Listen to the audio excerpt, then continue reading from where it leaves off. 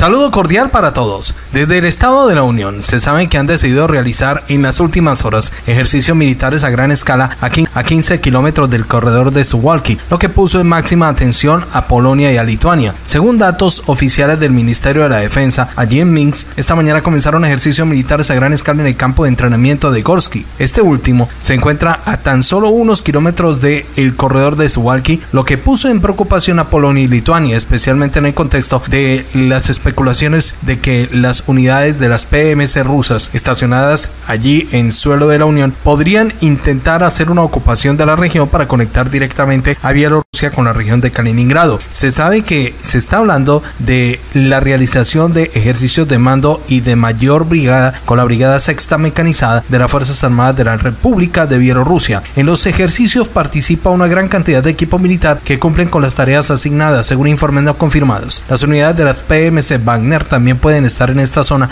utilizándose para entrenar al ejército bielorruso, como informó anteriormente el Ministerio de la Defensa. Es probable que los propios ejercicios cerca de la frontera del bloque militar sea la respuesta de Minsk al despliegue de grandes fuerzas de la alianza en la frontera del Estado de la Unión. De otro lado, la Armada de Estados Unidos desplegó cuatro destructores cerca de las costas de Alaska en respuesta al patrullaje naval conjunto que Rusia y China realizaron en el Pacífico, señaló el domingo el senador estadounidense Dan Sullivan. El legislador norteamericano tuiteó que la incursión de 11 buques de chino y rusos operando juntos fue recibida con cuatro destructores de la Armada de Estados Unidos. Mientras tanto, el diario norteamericano The Wall Street Journal informó que también fue desplegado un avión de patrulla marítima P-8 Poseidón. Por su parte, el Comando del Norte de la Marina norteamericana indicó que los barcos de Moscú y Pekín permanecieron en aguas internacionales, pero que no fueron considerados como una amenaza seria, recoge ABC News. El pasado viernes el Ministerio de la Defensa de Rusia informó que naves de guerra de la Armada rusa y de las Fuerzas Navales chinas realizaron un simulacro de búsqueda y destrucción de un submarino enemigo simulado en el marco de su patrullaje conjunto en el Océano Pacífico iniciado a finales de julio. Desde la institución precisaron que los buques de guerra de la agrupación ruso-china atravesaron el mar de Japón, el estrecho de La Perouse en el mar de Okhotsk y el estrecho de Kamchatka, navegando a más de 2.300 millas náuticas. Durante el tránsito de la parte suroccidental